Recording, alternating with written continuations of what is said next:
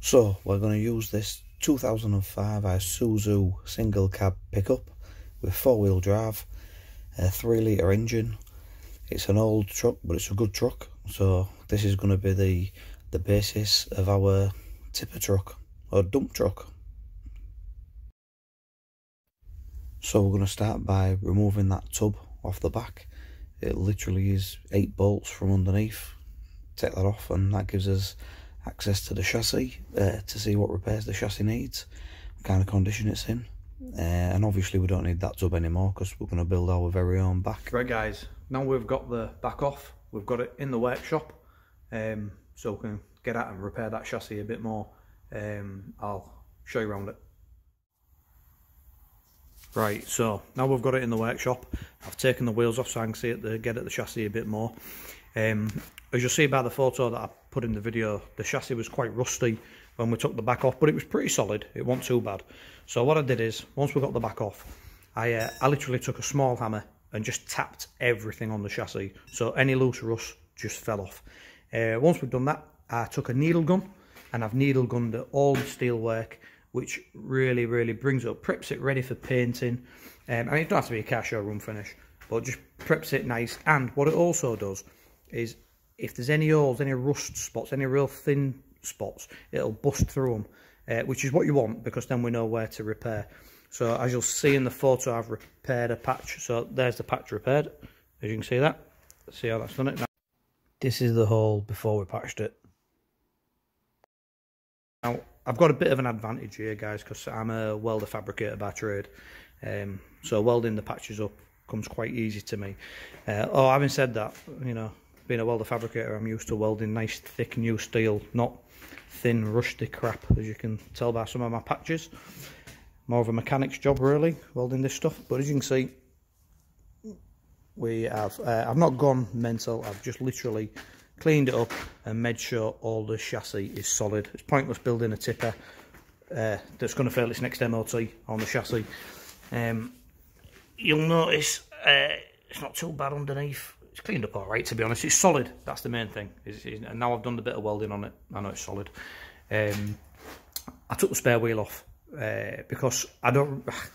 Just less weight. I don't really want to be running around with a spare wheel under there. If, you know, if there's a problem, uh, the spare wheel, you know, you, are getting shitty and clatted. So what I do is my golden rule is if I'm just running about the town, which it's an going to be an arb tipper, so I will be.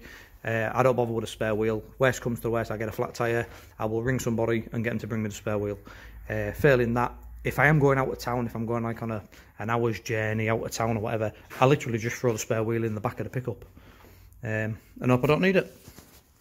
But so that's that's where we're at at the moment. So now today I'm going to mask this up and hopefully get some paint on the chassis. Here we are masked up. If you wanted to do this properly, you would drop the fuel tank out, etc. But we're not going to go that far because this is just a tipper build and it's not a complete restoration. Uh, Paint-wise, this is what we're using. Good old Hammerite Smooth Black. Nothing special. Uh, the reason I'm using this is I'm not going to go down the lines of 2-pack and uh, primer and top coat, all that kind of malarkey. Hammerite will do the job for what we want. Just one coat of this, maybe two coats, see how we go. Now my painting skills are definitely not the best, but as you can see already, quick flash of black Hammerite has uh, improved improved it all already, I reckon.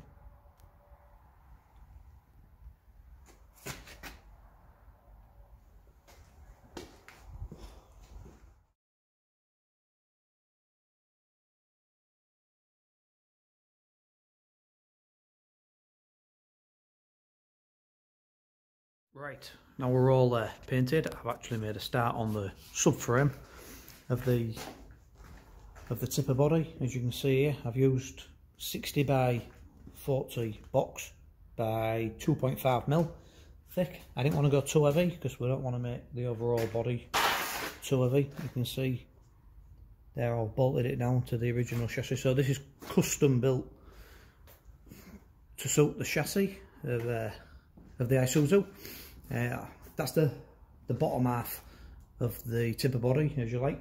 So at the back here what we're doing now is we're just making some tipper hinges. So this is what we've got here. You can see this side I've not knocked this one right through yet. Does that make sense? I've drilled a hole right through the box and now I'm just knocking a piece of tube through which will get welded. I'll put some pictures up of that.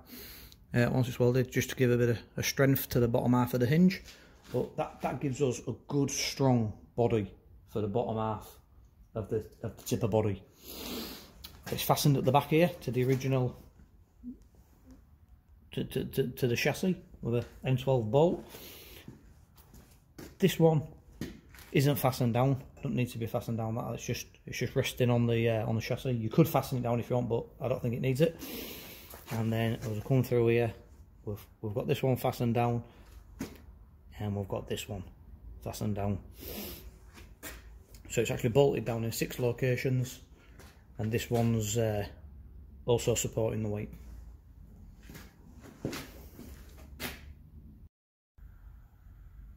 I'll slide that back over there. And I'll pin. Just pops in. And that is a nice simple easy tipper hinge so keep watching. In our next video, I think we're gonna I'm gonna show you how to how I'm gonna put the ram in to turn this into a tipping body.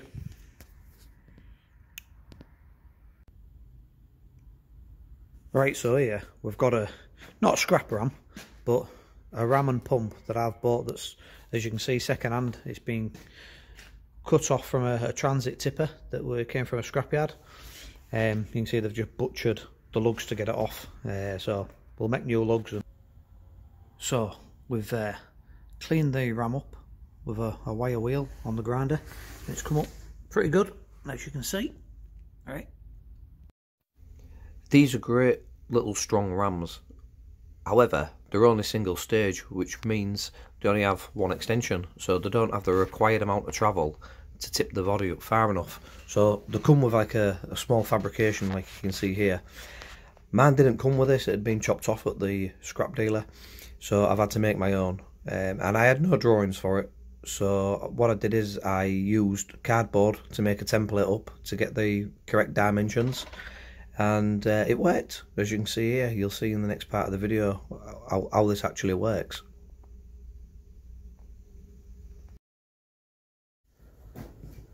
Right. In theory, when we power that ram, as that ram extends, just going to push that right up. So now it's all mounted, I've wired the pump up and I've connected the hose from the pump to the ram and you can see as we force the hydraulic fluid in there, I'm just hot wiring it at the moment, it opens the ram up which opens that fabrication up and causes the body to tip.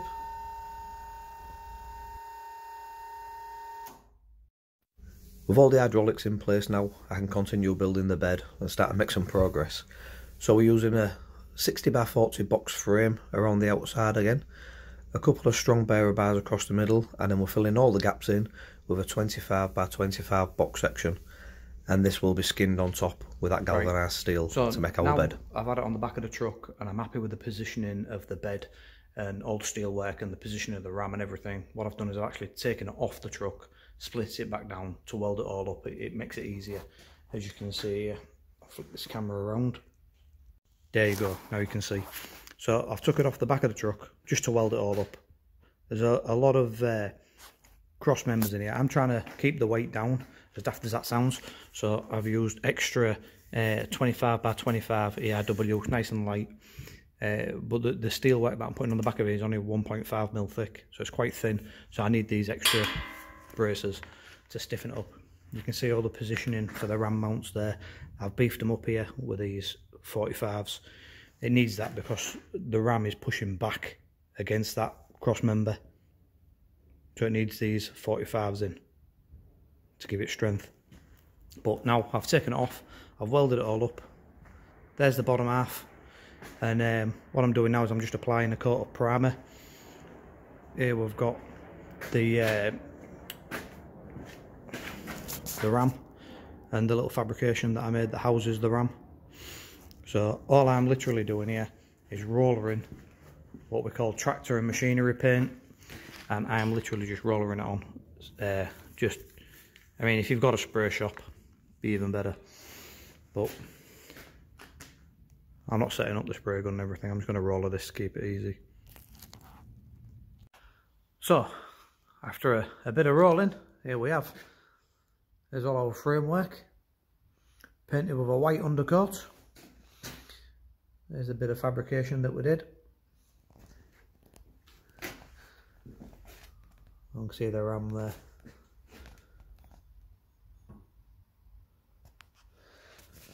Now for a bit of colour.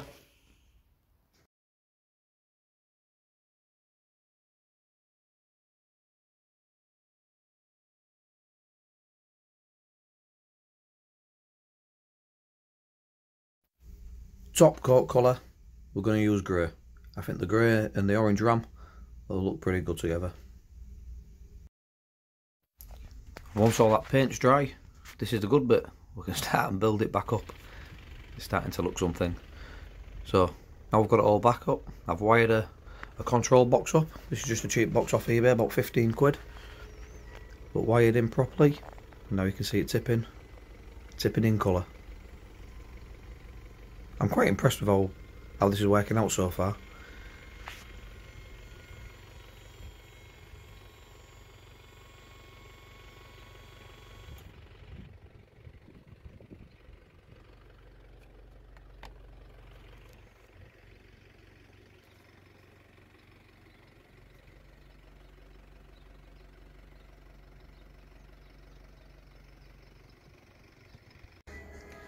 Back in the workshop guys, so just show you. Here we're making the toolbox and the bulkhead. Can you see that? So this is all made from ERW, so it's quite it's quite thin, light material. It's only 1.5 mil thick, 25 mil by 25 mil box, and 40 mil by 40 mil box. These uprights which are going to be the corner posts. So these are not ERW. These are just the 60 by 40 by 2.5. You can see how thick they are. They're a little bit thicker for a bit more strength. That's the same as what I made the actual body out of the bed. Uh, but you can see it's starting to take shape. So this is going to be our bulkhead and our toolbox. And this is all going to be lined with this stuff, which is uh, galvanised sheet. I'm only using 1.5 mil um, if I was going to build it again, I'd maybe go a bit thicker. I'd maybe use 2 mil, but that's what I bought. So that's what we're using. That's the galvanised sheet welded on the back to create our bed. And we're just going to build the bulkhead framework and the toolbox framework here. Then we're just going to weld that on at the front and you can see I've welded the rear posts on at the back. And now I'm going to skin that toolbox and that bulkhead with a galvanised sheet again and I've added four little tie down rings here into the bed. Picking the aluminium up gives us a, a good chance to use the roof rack feature. I see people build these ARB trucks and don't put this little extra tube in across the top and the back uh, which makes a, a roof rack. Brilliant, carrying its all aluminium and got a chance to use the tie downs. So this is what we're starting with. Our steelwork frame. We've got all the uh, posts in. And what we're going to do is we're going to start and build with the aluminium. See the aluminium stacked up there? So we're going to start with a, we're going to use this channel. Aluminium channel. That's what we're going to start with first. And then we're going to fill it with these aluminium planking. As you'll see, we've got, we're going to cut this on this cross cut saw. This is one of them uh, multi-blades that cuts steel, aluminium and wood. I don't know how good it do cutting steel, man. Let's start. So that's one side. fully railed with the channel, with the aluminium channel, as you can see. Excuse the sunlight. And the truck's going past. And you, as you can see in here, what I've done is it's all just pop riveted. Can you see that? All the way along and up the sides. So now, let's cut some plank. So you can see there, that's the 200 mil, and this is the 100 mil. We'll get a sheet out there. We'll cut some of this. Right, so yeah, we've cut some of the 100 mil stuff, and I've just put two pieces together to show you how it clicks in. So that just clicks together like that. You see that? And if you push it far enough, these little click, these little lips click over and lock it in place. It's not quite as easy as it looks. It's quite hard to get it in. You've really got to stand it on its edge, put a piece of wood on there and hit it with a mallet to get it in. Um, the first one I did was really heavy going. So the second one I the second one I had to go at, I squirted WD-40 using oiling on here to get it in. Um, you're going to need some kind of lube everything goes in easier with a bit of lube.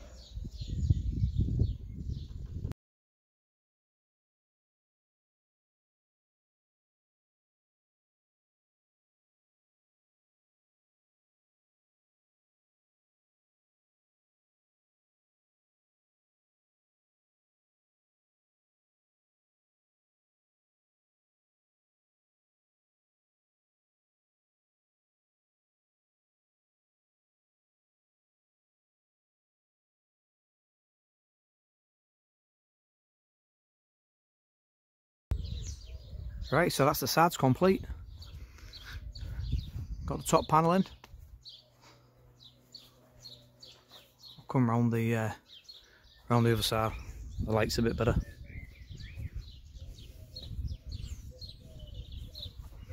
Stand back a bit, you can start to get the shape of it now.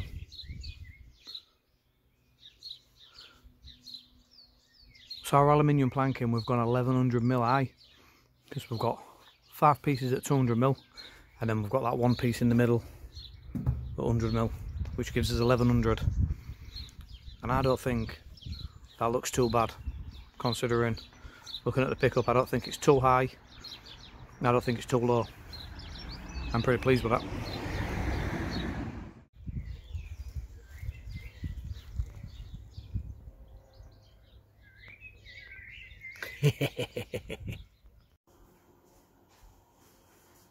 Right, so here we are now in my uh, in my kitchen. It looks more like a cookery show now, but it, it definitely isn't a cookery show. Um, so what I'm doing now is I'm making the, the little toolbox doors. So I've made these pretty much the exact same idea as I made the big doors, just on a smaller on a smaller scale. So what I'm doing is I'm now fitting these little flappy catches. Um, it's quite awkward to work out how to fit these that's like what I'm going to have to cut out the door.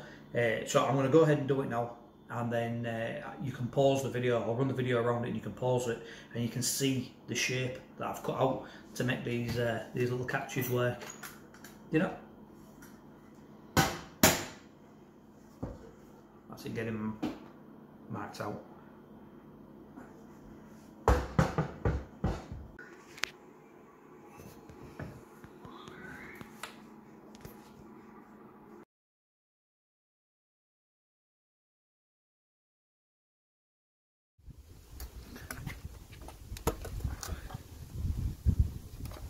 Right, so there's our flap installed.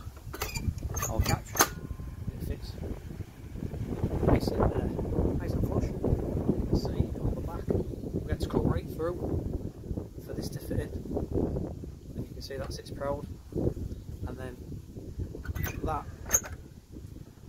will catch when the door shuts. So that's the pattern that we started with. That's obviously the outside. And then that'll go right through to the inside as I've drilled them four holes. They go right through. So I can pick them up on the back. And then that's the little bit we're going to put out for the latch. So you see how I marked it originally? I actually went a bit deeper with that. Show you what I mean. So this is actually going to be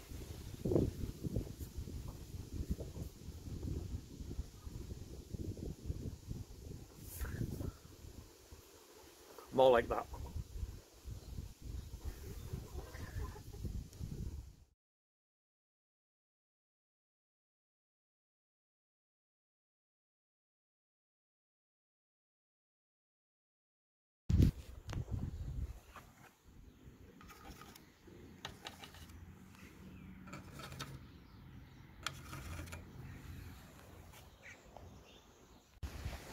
Well, there's the door installed. Perfect little toolbox now.